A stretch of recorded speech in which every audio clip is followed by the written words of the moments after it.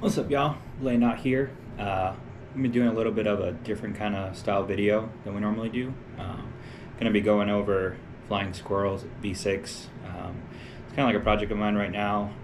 Not super invested in it, but um, it's definitely something I've been trying to get out here in Carver. Um, so I'm gonna be going over some of the video and things that I think I need to improve on in order to get it. Um, so yeah, let's just uh, let's get into it. All right, so here we are at Carver. Um, so it starts off with this really decent, uh, good rail. Uh, two hands are kind of slopey handrail jugs, but they make pretty good. Um, the feet are there, and so you're gonna move out left to this pretty good left hand, right hand in cut. And I started getting this heel hook um, after a few tries. The heel hook really, I think, helps get get me to the next big move. Um, but what you just saw me fall there fall on there is uh, this right hand crimp. It's really tiny. Uh, I've come to realize my fingers are a lot fatter than I, I thought. Um, so this crimp I can barely get with just my middle finger. Um, my second finger, index finger is barely in there. Um, and I'm trying to make a big move with this right heel hook out to that slap. This like big volume. It's very textured. Um, there's almost three different types of holds on it that can be used.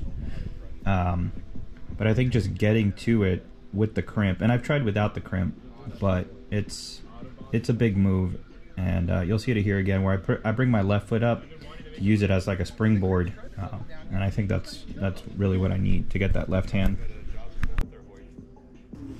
So here's probably my best attempt of not just the entire day, but I think uh, ever trying this route. This is probably my going to be my crux uh, portion because it's it's really spanned out for me. And honestly, after this, it's pretty easy. I just need to get my foot, uh, my right foot where it needs to be.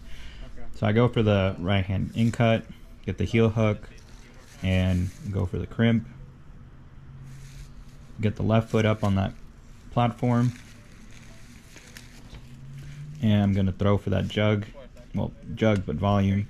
Um, and then they got another right hand crimp, and I readjust that left hand. And here I need to get my right foot where I just tried to. Um, getting my right foot there is is probably the hardest part for me for some reason. I'm I'm barely holding onto those hands, um, and just trying to wiggle my hips and make room for that that foot to come in.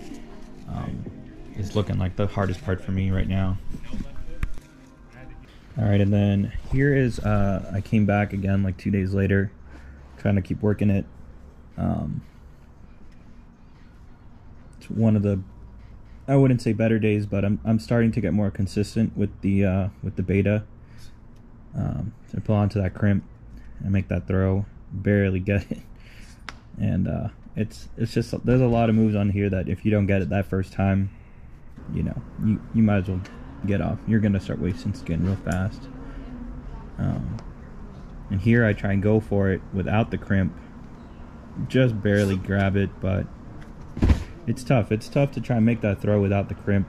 Um, the crimp gives you a few extra inches, but um, you know, from watching some of these videos, I'm realizing I'm I'm just trying to throw as far as possible. Um, maybe I should start being more strategic about where I where I'm aiming for with that left hand. Uh, whether I go for it with the crimp or not, um, probably focus some more here on accuracy. Um,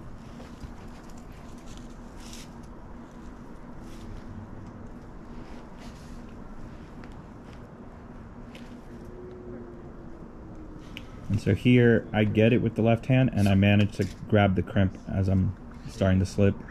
I get the second better hold on that left hand and I get the second crimp and I start leaning over onto that hip, but something just gave. I don't know if it was my left hand or that crimp was just digging in too deep into my hand, but you know, it's a it's a work in progress, and I think uh, looking over these videos like this is gonna help open my eyes to some more some more things I should be working on here. Um, but that's gonna be it for today, guys. Uh, We'll catch you on the next one.